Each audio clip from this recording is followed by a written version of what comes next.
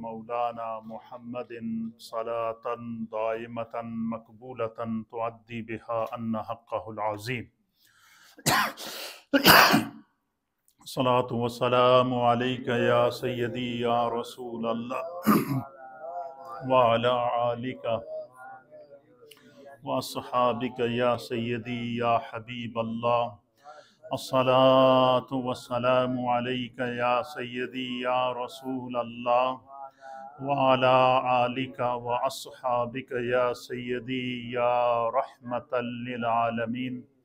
الصلاة والسلام عليك يا سيدي يا رسول الله. وعلى آلك وأصحابك يا سيدي يا خاتم النبيين. حضرات محترم، سفر المظفر کا بابرکت مہینہ ہے۔ اس وقت پاکستان میں بالخصوص اور دنیا بھر میں بالعموم ولایت کے تاجدار، قدوت السالکین زبدت العارفین، سلطان مشائق دنیائے روحانیت کے بحر بے کراں تصوف علم، روحانیت کے امام، حضور داتا علی حجویری، المعروف حضور داتا گنج بخش رحمۃ اللہ تعالی علیہ کا، کہ عرس مبارک اور ان کی تعلیمات اور افکار پر مبنی مجالس کا سلسلہ پوری دنیا میں جاری ہے۔ ہر سال انیس اور بیس سفر مظفر کو داتا کی نگری لاہور کے اندر حضور داتا صاحب کے مزار پرانوار پر آپ کے عرس کی دو روزہ تقاریب ہوتی ہیں جو پوری دنیا سے بالعموم اور پاکستان بھر سے بالخصوص علماء مشائق اور ہزاروں لاکھوں کی تعداد میں اہل ایمان ان تقاریب میں شرکت کرتے ہیں اور داتا صاحب کا مزار اس وقت بکائے نور بنا ہوا ہے۔ حضور داتا علی حجویری کا جو سن ولادت اہل سیر نے لکھا ہے یہ سن چار سو ہجری کے اوائل میں لکھا ہے۔ یعنی اس وقت چودہ سو چھیالیس ہجری ہے۔ اور سن چار سو ہجری سے مراد یہ ہے کہ آج سے ایک ہزار اور چوالیس سال پہلے کا دور۔ یہ حضور داتا علی حجویری رحمۃ اللہ تعالیٰ علیہ کا دور ہے۔ آپ دیکھیں کہ ہمارے جو اکابرین ہیں، جن کی نسل سے ہم لوگ ہیں، ہمارے دادا پردادا ہو گئے، ہمیں ان کی ایک سو سالہ تاریخ بھی معلوم نہیں ہے۔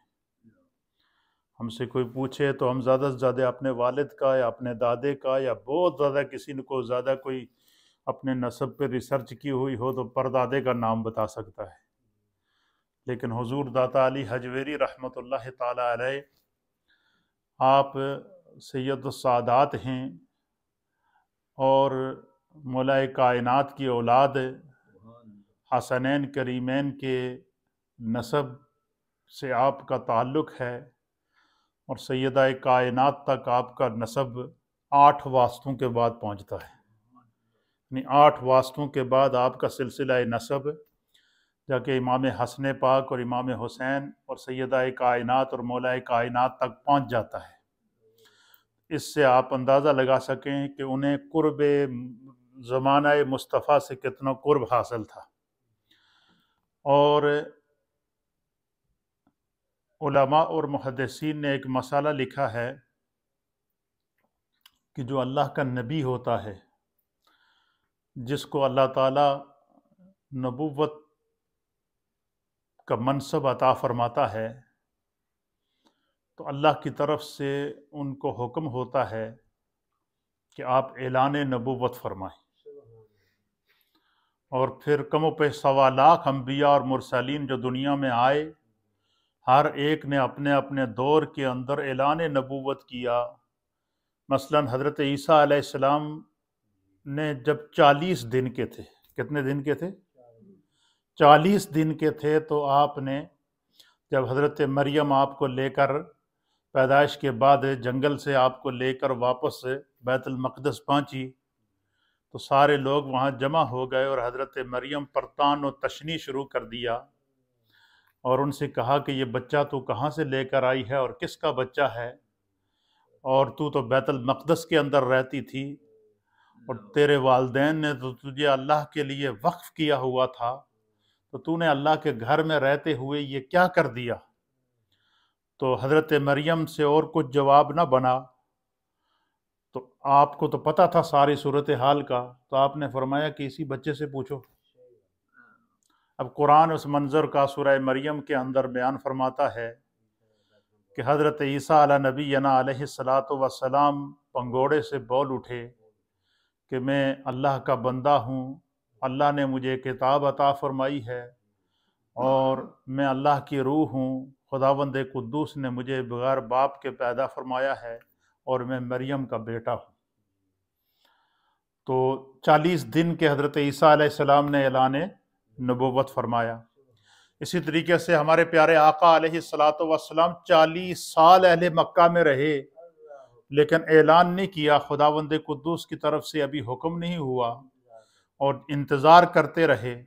لیکن وہ اس انتظار کے اندر بھی یہ حکمت تھی کہ تمام اہل مکہ نبی علیہ السلاۃ وسلام کی چالیس سالہ حیات طیبہ، چالیس سالہ پاکیزہ زندگی کے شب و روز خود اپنی آنکھوں سے دیکھ لیں۔ اور آپ مجھے بتائیں کہ ایک بندہ جب کسی سوسائٹی کے اندر، کسی علاقے کے اندر، کسی شہر کے اندر، کسی گاؤں کے اندر یا کسی کمیونٹی کے اندر چالیس سال رہے اور چالیس سال کے بعد جب وہ کھڑا ہو کر اعلان کرے گا، تو اگر وہاں اس کے ایک دشمن ہے تو وہاں دس، وہاں اگر اس کا کوئی ایک وہاں پر چاہنے والا ہے، ماننے والا ہے، تو دس دشمن بھی موجود ہوتے ہیں۔ دس باتیں کرنے والے بھی موجود ہوتے ہیں۔ تو اللہ کے حبیب علیہ السلاۃ والسلام نے جب چالیس سال مکے کی زندگی گزاری، چالیس سال گزارنے کے بعد اب اللہ نے حکم فرمایا کیا میرے محبوب، آپ اعلان کریں کہ میں اللہ کا آخری نبی ہوں۔ اور سب مجھ پر ایمان لے کر آؤ۔ چالیس سال کے بعد۔ اچھا اس سے پہلے یہ کرائٹیریا یہ تھا کہ جتنے بھی انبیاء اکرام اپنی اعلان نبوت فرماتے تھے، تو ان کی جو امتیں تھیں، ان کی جو قومیں تھیں، وہ ان سے کہتی تھی کہ بھائی، آپ کو معجزہ دکھائیں۔ قرآن بیان کرتا ہے، موسیٰ علیہ السلام سے ہزاروں قسم کے معجزات ان کی قوم نے طلب کیے ہیں۔ حضرت صالح علیہ السلام نے اونٹنی، پتھر سے اونٹنی، ان اللہ تعالیٰ نے ان ان کے لیے پتھر سے اونٹنی کو پیدا کیا۔ قرآن اس منظر کو بیان فرماتا ہے۔ پھر اسی طریقے سے حضرت یونس علیہ السلام کا مچھلی کے پیٹ کے اندر زندہ رہنا، یہ بھی قرآن اس کو بیان فرماتا ہے۔ اسی طریقے سے حضرت ابراہیم علیہ السلاۃ والسلام کا جو ہے وہ آگ سے گزرنا قرآن ان کے اس معجزے کو بیان فرماتا ہے۔ موسیٰ علیہ السلام کا پیدائش سے لے کر فرعون کے گھر کے اندر تربیت پانا قرآن اس منظر کو ان کے معجزات کو بیان فرماتا ہے۔ تو جب نبی علیہ السلام نے چالیس سال کے بعد اعلان نبوت فرمایا نا، تو اللہ تعالیٰ نے اپنے محبوب علیہ السلاۃ والسلام کو ساتھ میں یہ بھی بتا دیا کہ اے میرے محبوب، دنیا کا یہ طریقہ کار چلا آ رہا ہے کہ جس نبی نے بھی اعلان نبوت کیا تو اس سے اس کی امت نے کہا کہ ہم آپ کو نبی تب مانیں گے کہ آپ اس پر کوئی معجزہ دکھائیں۔ تو آپ نے اعلان نبوت فرمائیں اور اعلان نبوت فرمانے کے بعد اگر آپ کی امت آپ سے کہے کہ آپ کے آخری نبی ہونے پر کوئی معجزہ ہے تو دکھائیں۔ تو اللہ پاک نے فرمایا کہ محبوب، آپ نے صرف دو باتیں کہنی ہیں۔ قرآن میں اللہ تعالیٰ نے اس کو بیان فرمایا ہے کہ فقد لبس تو فی کم عمرم من قبل اے میرے بابو، آپ نے یہ جو، جب آپ اعلان نبوت فرمائیں، تو جب اہل مکہ، عرب کے رہنے والے لوگ اپنے سابقہ دستور کے مطابق آپ سے آپ کی نبوت پر معجزہ مانگیں مریکل مانگیں، تو آپ نے صرف ان کو اتنا کہہ دینا ہے کہ فقد لبس تو فی کم عمر من میں نے تھوڑے وچ زندگی دے چالیس سال کڈے ہیں۔ کیا کیا کہا؟ کہ میں نے تمہارے درمیان اپنی زندگی کے چالیس سال گزارے ہیں۔ ان چالیس سالہ کتاب زندگی میری تمہارے سامنے موجود ہے اس چالیس سالہ کتاب زندگی کے اندر میرا بچپن بھی تمہارے سامنے گزرا، میرا لڑکپن بھی تمہارے سامنے گزرا۔ میرا جوانی بھی تمہارے سامنے موجود ہے، میری چالیس سالہ حیات طیبہ کا ایک ایک ورق تمہارے سامنے موجود ہے۔ اور تم نے میرے شب و روز بھی دیکھے ہیں، خلوتیں بھی دیکھی ہیں، جلوتیں بھی دیکھی دیکھی ہیں، سوسائٹی بھی دیکھی ہے، اخلاق بھی دیکھا ہے، کردار بھی دیکھا ہے، گفتار بھی دیکھا ہے، صورت بھی دیکھی ہے، سیرت بھی دیکھی ہے۔ میری چالیس سالہ کتاب زندگی تمہارے سامنے موجود ہے۔ اگر اس چالیس سالہ کتاب زندگی میں تم اہل مکہ نے اور تمام اہل عرب نے اس چالیس سالہ کتاب زندگی میں کوئی ایسی بات دیکھی ہو جو معیار انسانیت سے گری ہوئی ہو، تو اس کو تم بیان کرو یا اخلاق سے گری ہوئی ہو تو تم بیان کرو، یا کسی گناہ کے زمرے میں آتی ہو تو تم بیان کرو، یا کسی کمزوری کے زمرے میں آتی ہو تو تم بیان کرو۔ اور اگر تم بیان نہیں کر سکو گے تو میری پوری کی پوری چالیس سالہ زندگی ہی خدا کا معجزہ ہے۔ اب یہ دیکھیں کہ نبی علیہ السلاۃ والسلام نے اپنے کردار کو اہل عرب کے سامنے چالیس سالہ زندگی گزارنے کے بعد، اعلان نبوت کرنے کے بعد ان کے سامنے اپنا کردار پیش کیا، اپنے اخلاق پیش کیے، اپنا رین سین پیش کیا، اپنا بچپن پیش کیا، اپنا لڑکپن پیش کیا، اپنی جوانی پیش کی، اپنی چالیس سالہ حیات طیبہ پیش کر دی۔ اب سارے کے سارے جو کفار تھے مشرقین تھے، کسی نے بھی نبی علیہ السلاۃ وسلام کی زندگی میں کوئی عیب نہیں نکالا، بلکہ جس طرح ابھی ہمارے حاجی صاحب شاہد صاحب اس طرح اشارہ دے رہے ہیں کہ جو کفار تھے مشرقین تھے، وہ بھی آپ کو صادق اور امین کہہ کر کے پکارتے تھے۔ وہ بھی آپ کو صادق اور امین کہہ کر کے پکارتے تھے۔ حتیٰ کہ یہاں تک، جس وقت نبی علیہ السلاۃ والسلام کی عمر مبارک چال، تیس سال ہوئی۔ کتنی ہوئی؟ تو اس وقت قریش نے، اہل مکہ نے خانہ کعبہ کی تعمیر کی۔ کیا کی؟ خانہ کعبہ کی گری ہوئی دیواروں کی دوبارہ تعمیر کی۔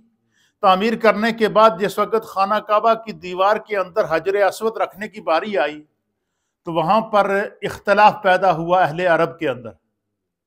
انہوں نے کہا جی کہ حجر اسود کو خانہ کعبہ کی دیوار میں کون رکھے گا؟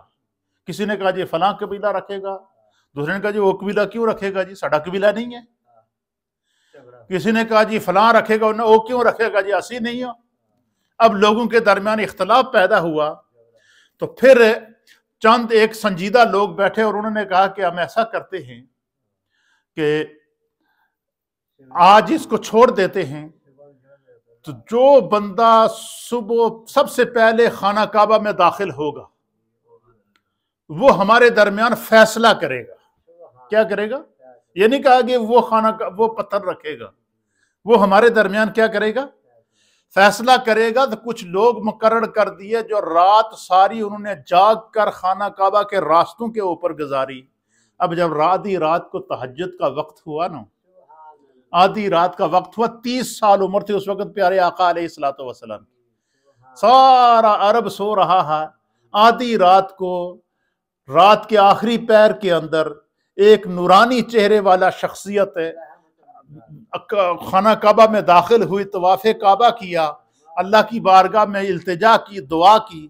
سارے قریب آ کر دیکھیں کہ یہ کون ہے تو سب نے دیکھا کہ نبی علیہ السلاۃ والسلام تھے۔ سب نے کہا، سبحان اللہ سبحان اللہ۔ اور ہر ایک نے یہ کہا کہ ہمیں یقین تھا کہ یہ یہی ہو سکتے۔ کیونکہ ان کی زندگی میں ہم نے کوئی عیب نہیں دیکھا۔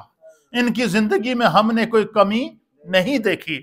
تو جب کہا کہ اب ہمارے درمیان آپ فیصلہ کریں گے، تو اس وقت پیارے آقا علیہ السلاۃ والسلام نے جو فیصلہ کیا، اس کو تاریخ نے لکھا ہے۔ حضور علیہ السلام نے فرمایا کہ میں تھوڑے درمیان فیصلہ کرنا کہ کیڑا بندہ خانہ کعبہ دے، دیوار دے وچ حجر اسود نہ رکھے گا۔ حضور نے فرمایا جتنے جتنے قبائل موجود ہیں نا سارے قبیلیاں دا ایک ایک سردار سامنے آؤ۔ کیا کریں؟ سب قبائل کا ایک ایک سردار سامنے آیا۔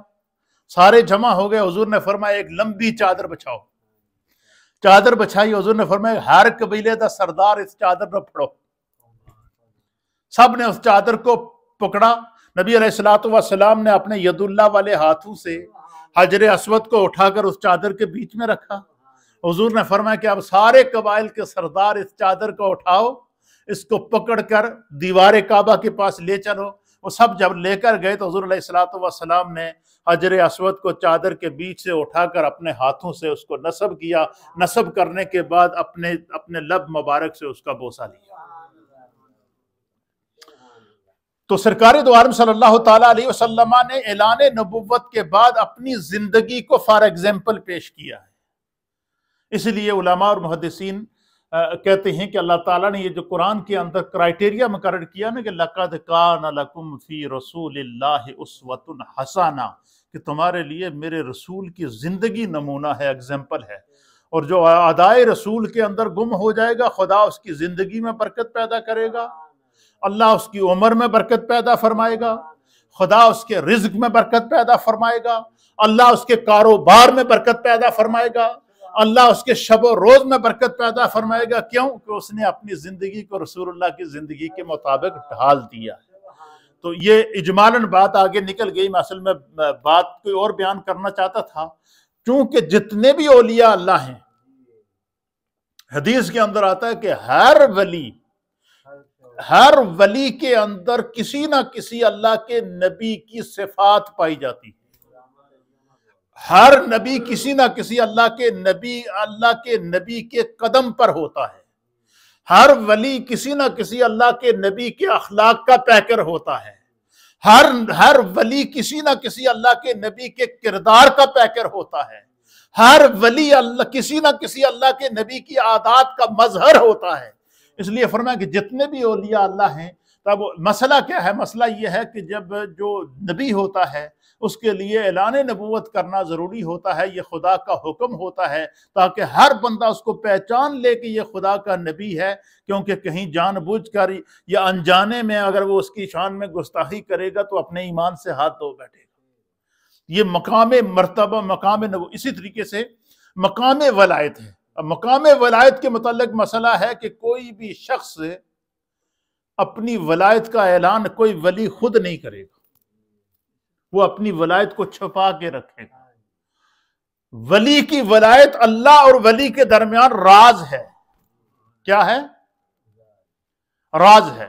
اچھا اس، اللہ جب چاہتا ہے اپنے ولی کی ولایت کا اعلان فرشتوں کے ذریعے، اپنی مخلوق کے ذریعے، چاہے وہ مخلوقات انسانوں کی صورت میں ہو، چاہے وہ مخلوق جنات کی صورت میں ہو، یا وہ مخلوق حوانات کی صورت میں ہو یا وہ مخلوق نباتات کی صورت میں ہو، یا وہ مخلوق جماعتات کی صورت میں ہو، یا وہ مخلوق حشرات الارض کی صورت میں ہو۔ جب اللہ تعالیٰ اپنے کسی ولی کو، کے جلووں کو کائنات کے سامنے آشکارا کر دیتا ہے، کسی ولی کے مقام کو کائنات کے سامنے آشکارا کر لیتا ہے، تو پھر پتھر بھی پہچانتے ہیں کہ یہ خدا کا ولی ہے۔ راستے بھی پہچانتے ہیں کہ یہ خدا کا ولی ہے۔ شجر و حجر بھی پہچانتے ہیں کہ یہ خدا کا ولی ہے۔ حشور و طیور بھی پہچانتے ہیں کہ یہ خدا کا ولی ہے۔ اور پھر جن اور انس بھی پہچانتے ہیں کہ یہ خدا کا ولی ہے اور اللہ کے فرشتے بھی پہچانتے ہیں کہ یہ خدا کا ولی ہے۔ اس لیے حدیث پاک کے اندر آتا ہے، حضرت ابو حریرہ رضی اللہ تعالیٰ عنہ اس حدیث کے راوی ہیں۔ آپ بیان فرماتے ہیں کہ نبی علیہ السلام نے فرمایا کہ اللہ تعالیٰ جب اپنے کسی ولی کی ولایت کا اعلان کرتا ہے نا، اپنے کسی بندے کو اپنے قرب کی دولت سے نوازتا ہے نا، تو اللہ تعالیٰ جبریل کو بولا کر کہتا ہے کہ اے جبریل، تیرا رب دنیا میں فلاں سے محبت کرتا ہے، تو بھی اس سے محبت کر۔ اور میرے اس بندے کی محبت کو کیا کرو؟ آسمان کے فرشتوں کے اندر رکھ دو۔ فرمایا جبریل اس کی ولایت کا اعلان کرتے ہیں۔ اس کی محبت کو آسمان کے فرشتوں کے جو ہے وہ سامنے بیان کی جاتی ہے۔ پھر اعلان زمین پر ہوتا ہے۔ فرمایا جس وقت زمین پر جبریل علیہ السلاۃ وسلام اعلان کرتے ہیں، تو کائنات کا ہر شخص پہچانتا ہے کہ یہ خدا کا ولی ہے۔ اس کی ایک مثال میں آپ کے سامنے پیش کرتا ہوں۔ تاریخ ہمیں یہ بتاتی ہے کہ سرکار غوث اعظم رضی اللہ تعالیٰ عنہ، جس وقت آپ جو ہے وہ تعلیم سے فارغ ہوئے نا، تو آپ فرماتے ہیں کہ میں نے سوچا کہ اب مجھے کیا کرنا چاہیے۔ تو سب سے پہلے غوث اعظم کہتے ہیں کہ میں نے کہا کہ میں اپنے نفس سے پوچھوں۔ تو آپ فرماتے ہیں کہ میرے نفس نے مجھے کہا کہ عبد القادر جتنا عرصہ تو نے علم حاصل کیا ہے، اتنا عرصہ پہلے خود اس پر عمل کر، اگر تو ایسا کر سکتا ہے، تو پھر اس کے بعد تو واز اور نصیحت کر۔ تو آپ پھر جنگلوں کی طرف نکل گئے، ویرانوں کی طرف نکل گئے، غاروں کی طرف نکل گئے۔ بغداد کے جنگلوں میں پچیس سال گھومے آپ۔ کتنے؟ پچیس سال۔ پچیس سال تک بغداد کے جنگل اچھا اس، اسی ان پچیس سالوں کے دوران جب بچے ان کو دیکھتے نا تو وہ ان کو ہنستے تھے، کہتے تھے یہ کوئی دیوانہ ہے، جنگلوں میں رہتا ہے۔ کبھی جانوروں کے پیچھے ڈانگ لے کر پڑا رہتا ہے کبھی جو ہے وہ بال بکھرے ہوئے ہوتے ہیں اور بچے ان کو ہنستے تھے۔ وہ پچیس سال کے بعد پھر ایسا وقت آیا کہ اللہ نے چاہا کہ ان کی ولایت کا اعلان کیا جائے۔ آپ فرماتے ہیں کہ پھر میں جس وقت بغداد کی طرف میں نے رخ کیا تو راستے میں ایک واقعہ آپ نے سنا ہوگا کہ ایک کمزور شخص ملا، جس کا سانس چل رہا تھا، اس کو ہاتھ دیا تو وہ تر و تازہ ہو گیا۔ اور آپ حیران ہوئے تو اس نے کہا کہ میں آپ کے نانا کا دین ہوں۔ لوگوں نے بے عملی کی وجہ سے مجھے کمزور کر دیا تھا۔ آپ نے ہاتھ سے کھینچ کر میرے اندر حیات بھر لی۔ اس وقت سے آپ کا نام محی الدین ہو گیا۔ آپ فرماتے ہیں کہ میں جب بغداد شریف پہنچا نا، تو پورا بغداد شہر ان کا استقبال کر رہا تھا اور کہا تھا، مرحبا یا محی الدین مرحبا یا محی الدین اور ایک دن پہلے بچے کہہ رہے تھے، یہ کوئی دیوانہ ہے۔ ایک دن پہلے وہی بغداد والے ان کو جنگلوں میں گھومتے ہوئے دیکھتے تھے اپنی آنکھوں سے۔ ایک دن پہلے وہی بغداد والے ان کو چلتے پھرتے دیکھتے تھے۔ لیکن جب اللہ نے ان کی ولایت کا کو آشکارا کیا، تو پورے بغداد نے ان کو محی الدین کے لقب سے پکارا۔ اور کائنات عالم کے اندر آج بھی غوث پاک کا ڈھنکا بج رہا اور قیامت تک بجتا رہے۔ اسی طریقے سے حضرت داتا علی حجویری رحمت اللہ تعالیٰ علیہ کو آپ لیں، خواجہ معین الدین چشتی اجمیری رحمت اللہ تعالیٰ علیہ کو لیں، حضرت خواجہ حسن بصری رحمت اللہ تعالیٰ علیہ کو لیں، نبی پاک کے کم و پہ سوا لاکھ صحابہ کرام کو لیں، نبی کا ہر صحابی ولی کامل ہے۔ بلکہ وقت کا بڑے سے بڑا ولی بھی، حتیٰ کہ سرکار غوث اعظم رضی اللہ تعالیٰ عنہ بھی مرتبہ صحابیت تک نہیں پہنچ سکتے کیوں کہ صحابی نے براہ راست میرے مصطفیٰ کی صحبت بھی پائی ہے، دیدار بھی کیا ہے اور تربیت بھی حاصل کی ہے۔ یہ نبی پاک کے چہرے کے دیدار کی کیا ہے؟ برکت ہے۔ درود پاک پڑھے۔ اللہ وسلم۔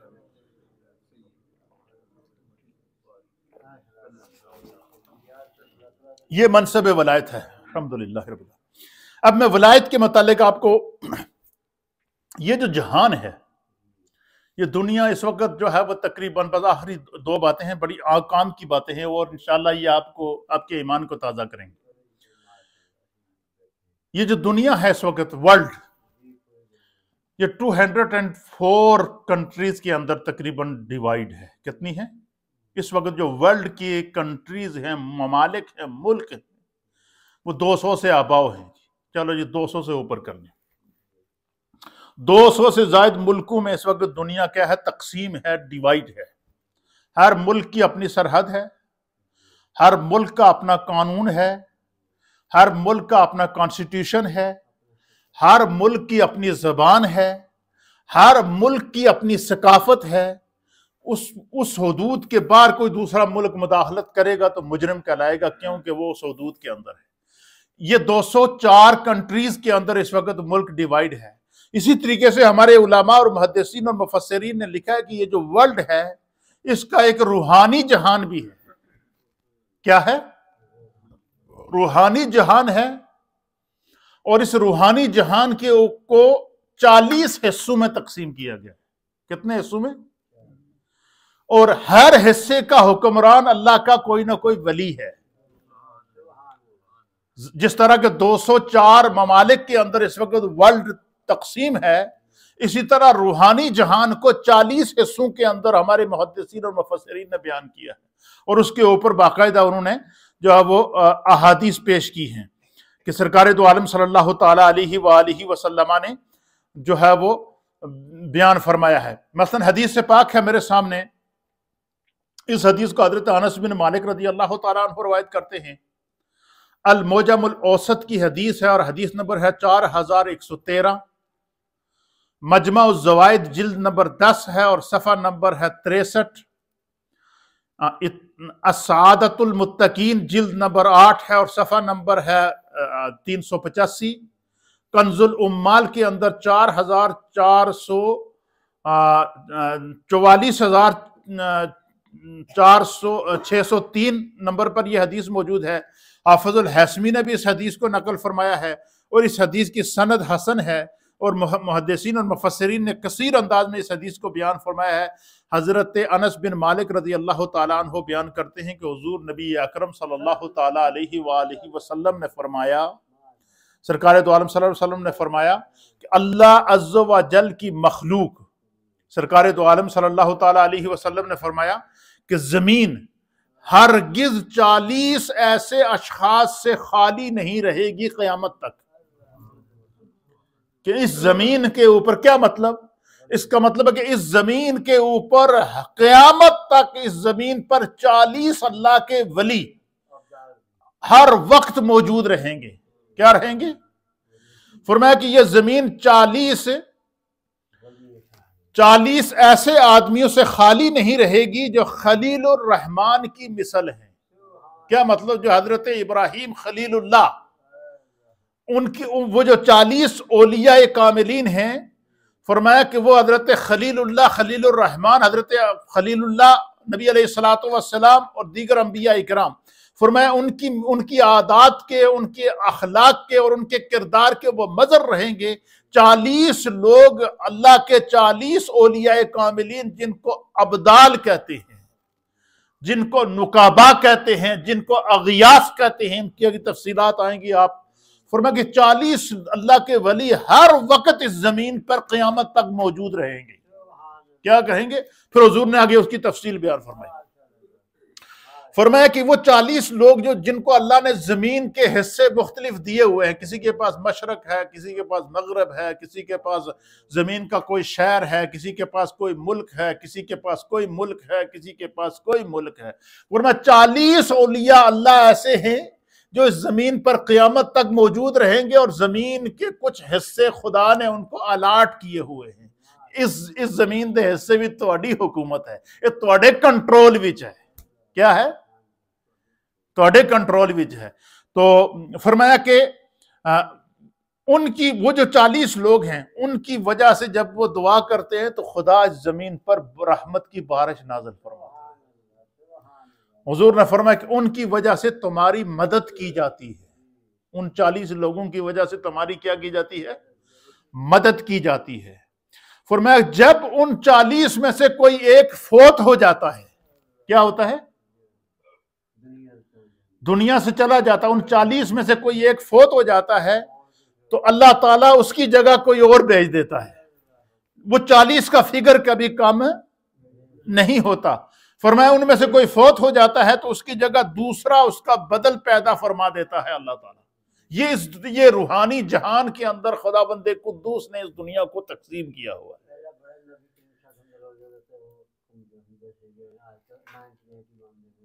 وہ ہر جگہ موجود ہوتے ہیں، اولیاء اللہ اور پھر وہ تو مرکز ہے نبی پاک کی بارگاہ۔ تو چالیس ابدال ہر وقت دنیا کے اندر موجود رہتے ہیں، جن کی وجہ سے فرمایا تمہیں رزق دیا جاتا ہے۔ حضور فرماتے ہیں، وہ جب دعا کرتے ہیں تو خدا بے اولادوں کو اولاد عطا فرماتا ہے۔ وہ جب دعا کرتے ہیں تو خشک زمین فصلیں پیدا کرتی ہے۔ اللہ ان کی دعا سے تمہارے لیے رزق پیدا کرتا ہے۔ اللہ ان کی بات کو کبھی ٹالتا نہیں ہے۔ وہ خدا کی طرف سے ڈیوٹی پر معمور ہیں۔ پھر آگے ان کے آگے جو ہے وہ سلسلے میں جتنے اولیاء ہیں، وہ آگے اپنی اپنی ڈیوٹی دے رہے ہیں۔ لیکن یہ چالیس ابدال ایسے ہیں جو روئے زمین کے اوپر، روحانی جہان کے اوپر حکومت کرتے ہیں اور یہ ساری زمین ان کے کنٹرول میں میرے رب نے دی ہوئی ہے۔ یہ ایک ولی کی طاقت ہوتی ہے اور ان اولیاء کاملین میں جو ہے وہ ایک ایسی شخصیت جن کو ملک پاکستان اللہ کی طرف سے جو ہے وہ عطا کیا گیا، وہ حضرت داتا علی حجویری رحمت اللہ تعالیٰ علیہ ہیں۔ ایک یہ ہے۔ پھر اسی طریقے سے ایک اور حدیث ہے۔ اس کو عبیدہ بن سامت رضی اللہ تعالیٰ عنہ بیان کرتے ہیں۔ اور یہ حدیث مسند امام احمد کی ہے۔ اور اس میں حضور علیہ السلاۃ والسلام نے فرمایا کہ اس امت میں تیس ابدال ہیں۔ کیا ہیں؟ تیس ابدال ہیں۔ فرمایا کہ جو خلیل الرحمان کی مثل ہیں، ان میں سے کوئی ایک جب فوت ہوتا ہے تو خدا اس کا بدل پیدا کر دیتا ہے۔ لیکن زمین قیامت تک اولیاء اللہ سے خالی نہیں رہے گی۔ کیوں؟ کیوں نہیں رہے گی؟ اس کی وجہ یہ ہے کہ اللہ تعالیٰ نے نبی علیہ السلاۃ والسلام کی ذات پر نبوت کو ختم کر دیا ہے۔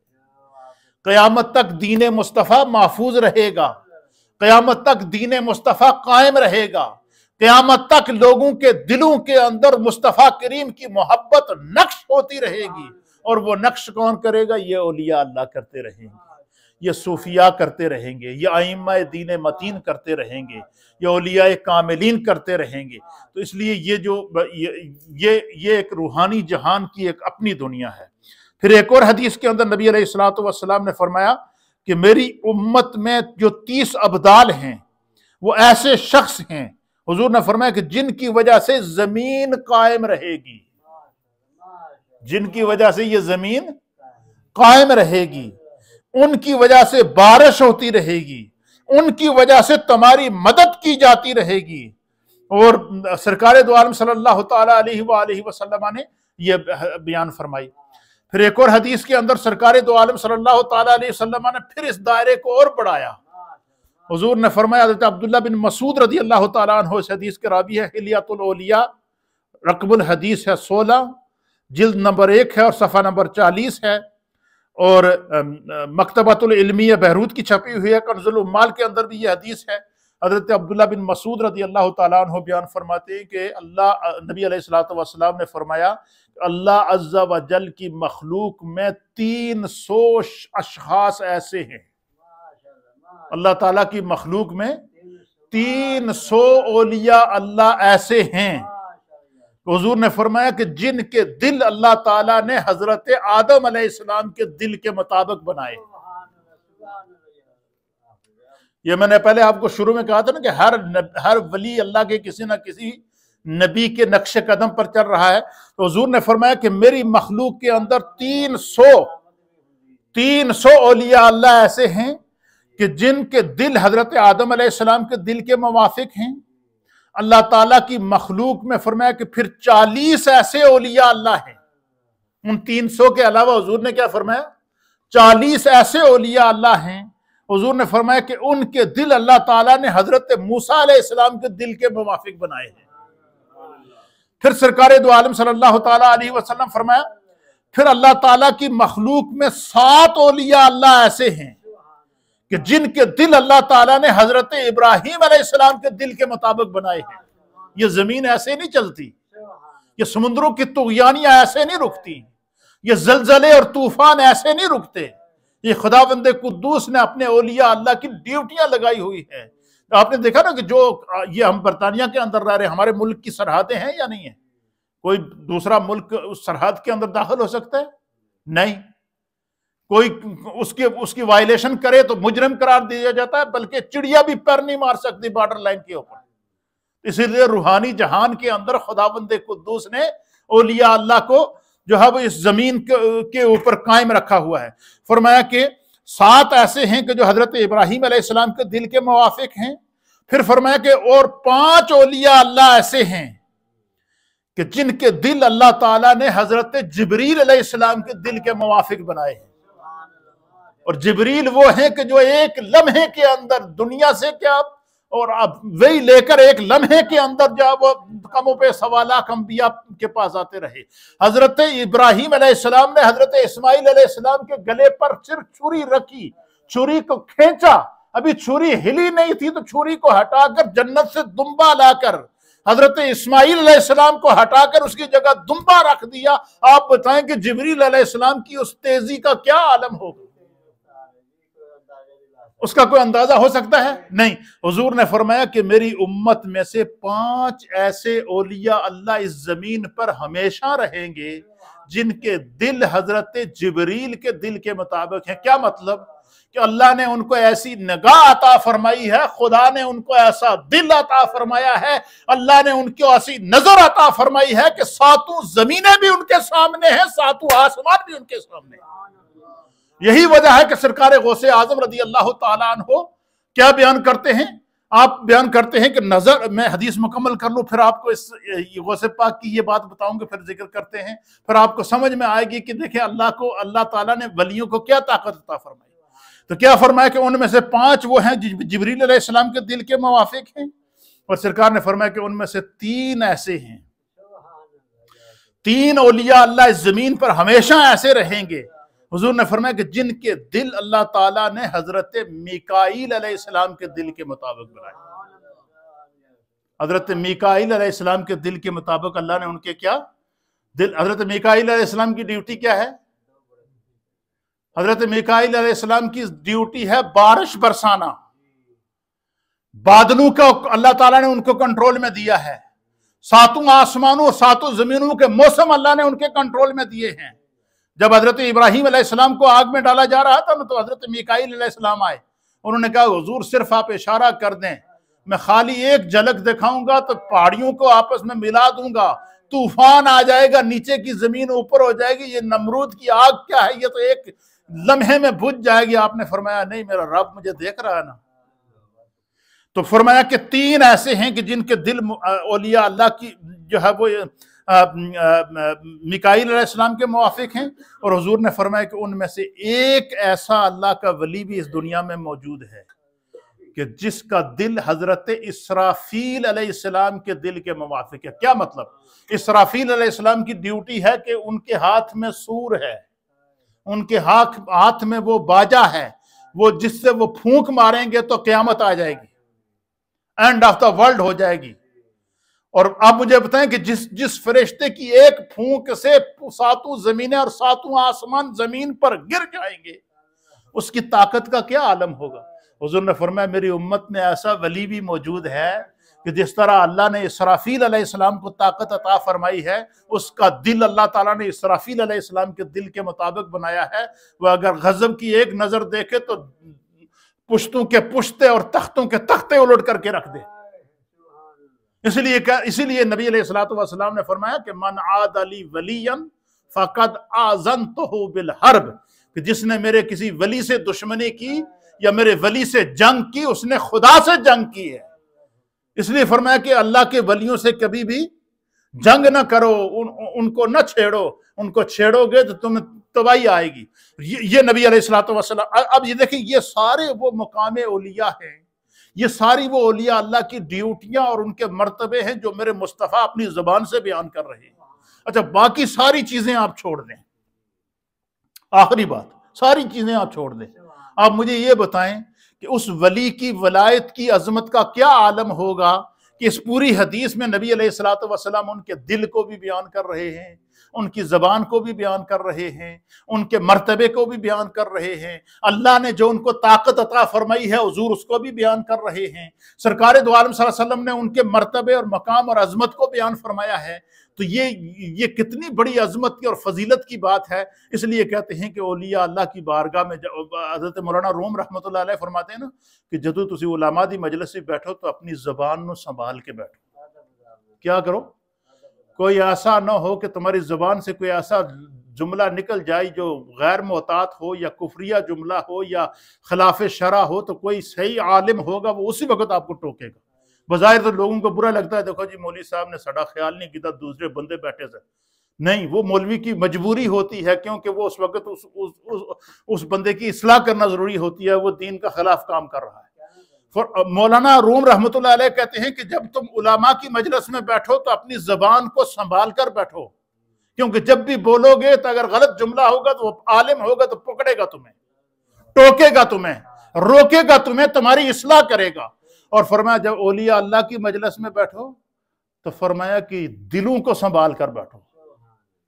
کیا فرماتے ہیں؟ جب علماء کی مجلس میں بیٹھو تو زبان کے سنبھال کر بیٹھو۔ اور اولیاء اللہ کی مجلس میں بیٹھو تو دل کو سنبھال کر بیٹھو اور پھر آخر میں کہتے ہیں کہ پتہ ہے کیوں دل کو سنبھال کر بیٹھو؟ کہتے ہیں، وَهُمْ جَوَاسِيسُ الْقُلُوبِ۔ یہ جڑے اللہ دے ولی ہوندے نے، دلان دے جاسوس ہوندے نے۔ یہ دل کے اندر جو راز ہوتا ہے، جو بندہ سوچتا ہے نا، ان کو خبر ہو جاتی ہے۔ کیوں؟ کہ اللہ تعالیٰ نے ان کے ان کے آگے سے پردوں کو ہٹایا ہوتا ہے۔ اور اب یہ بیان کرنے کے بعد نبی علیہ السلام فرماتے ہیں کہ ان میں سے ایک ایسا ہوگا کہ جو حضرت اسرافیل علیہ السلام کی جو ہے وہ موافق ہوگا اور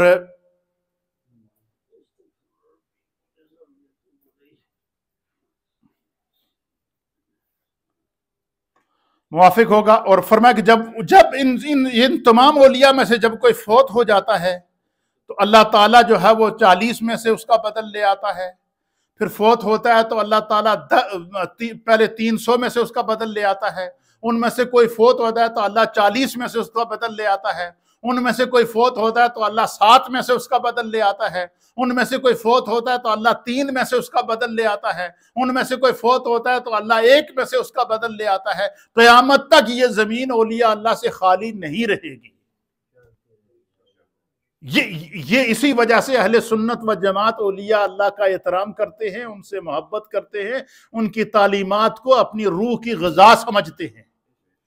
اور فرمایا کہ جو ہے وہ، اس کا بدل لے آتے ہیں۔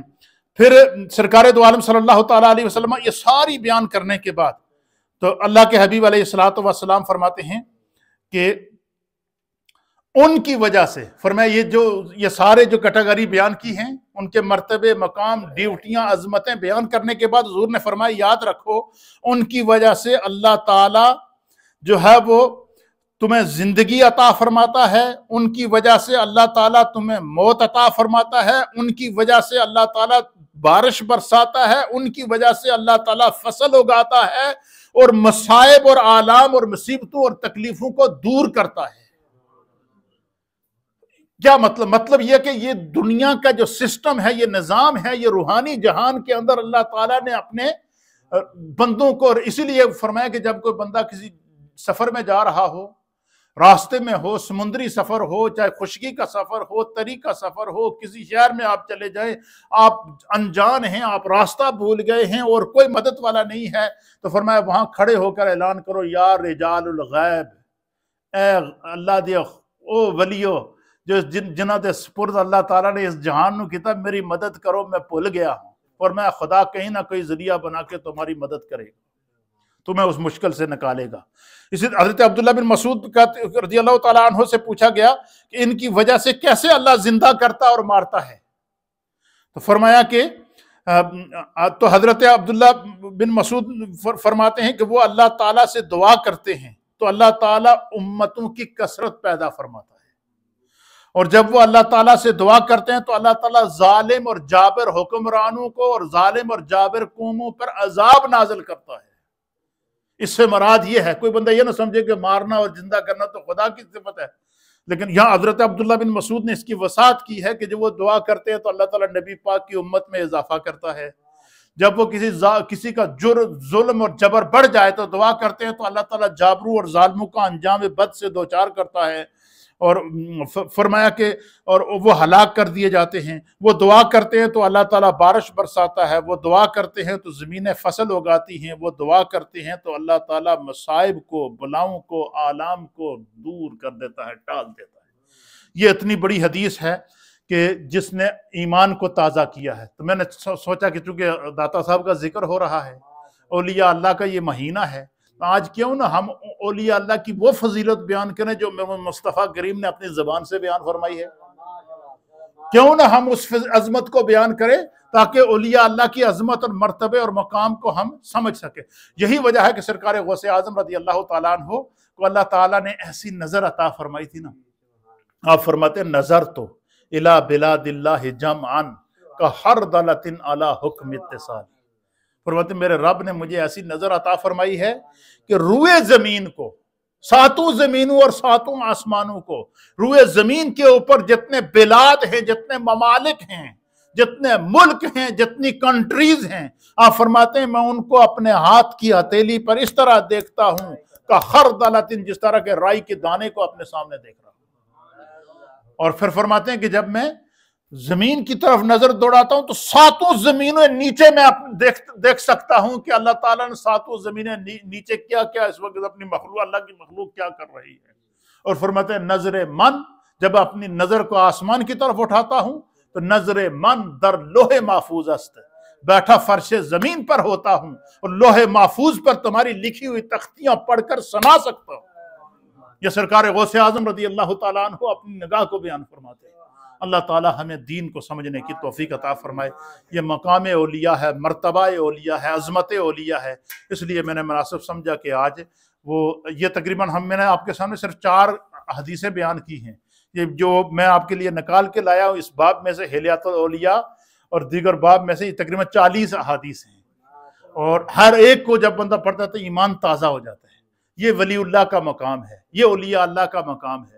اس لیے کبھی بھی آپ کو راستے میں ایمان کے ڈاکو ملیں گے، عقیدے کے ڈاکو ملیں گے، اولیاء اللہ کی گستاخیاں کرنے والے ملیں گے، انبیاء کی گستاخیاں کرنے والے ملیں گے۔ تو ایسے حالات میں اپنے ایمان کو کبھی متزلزل نہیں کرنا چاہیے۔ خداوند قدوس نے اس جہان کو اپنے محبوب اولیاء کے سپرد کیا ہوا ہے۔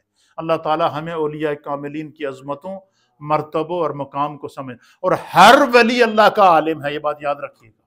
ہر ولی عالم ہے۔ خدا نے اسے ظاہری علم بھی عطا فرمایا ہے، باطنی علم بھی عطا فرمایا ہے۔ علم لدنی بھی عطا فرمایا ہے، دنیاوی علم بھی، اور قرآن و حدیث کے علوم سے بھی اللہ تعالیٰ نے اس کو مالا مال کیا ہوتا ہے۔ کیونکہ وہ اس کے سامنے سے پردے ہٹے ہوئے ہوتے ہیں۔ اللہ تعالیٰ ہمیں مقام اولیاء کو سمجھنے کی توفیق